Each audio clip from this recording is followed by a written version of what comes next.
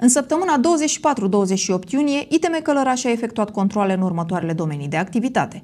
Comerț, construcții, confecții textile, învățământ, baruri și restaurante, fabricarea produselor din lapte, întreținerea și repararea autovehiculelor și alte domenii de activitate.